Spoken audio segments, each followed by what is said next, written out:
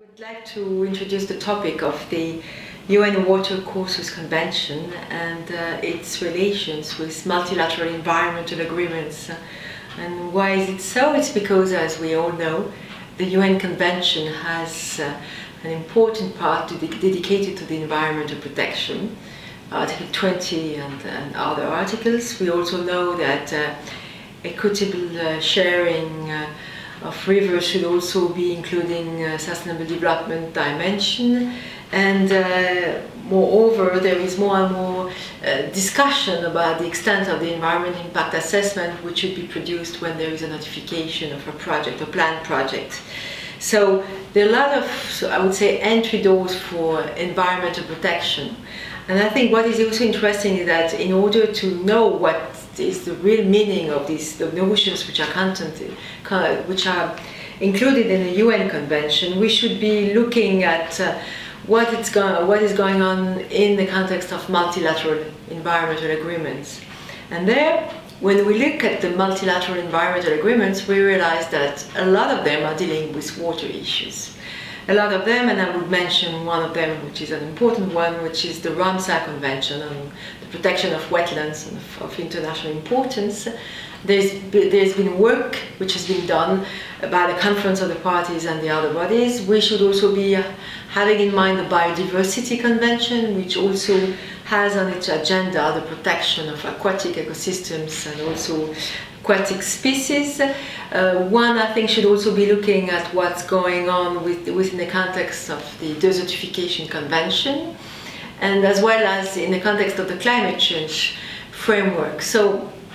those are examples of multilateral environmental agreements which I think play an important role for protecting waters and for protecting the environment of waters. Uh, now, what I think is, so we have the UN Convention, we have these multilateral environmental agreements, and we should also be thinking in terms of interactions between the UN Convention and the multilateral environmental agreements. And this is where I think that uh, what we call interpretation of treaties is an, an adequate pathway for integrating uh, the concerns as expressed in the context of the multilateral environmental agreements in the context of the UN Convention. And uh, it's interesting to see that what has been developed, for, for, example, in the context of multilateral environmental agreements uh, with respect to the environmental, environmental impact assessment, will have, I'm sure, some incidence in the interpretation of Article 12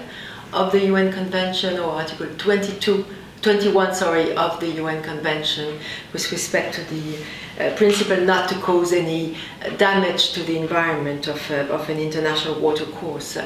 Um, another, I think, issue which is important is uh, the notion of the understanding of sustainable development in the context of these multilateral environmental agreements. Sustainable development is an important concept. It's not mentioned explicitly in the context of the UN Convention, but I do think that uh, it should find its place, and it means what? It means that when we speak of equitable and reasonable utilization of an international water course, this should be done in accordance with the principle of sustainable development. And uh, there, and I will conclude with that, the multilateral environmental agreements are bringing a lot of reflections and food for thought with respect to what does it mean to think in terms of sustainable development when we're managing an international water course. So with that, what I want to conclude with is to say that uh, we have, beside the UN Convention, beside water treaties as such, other treaties that we should be also looking at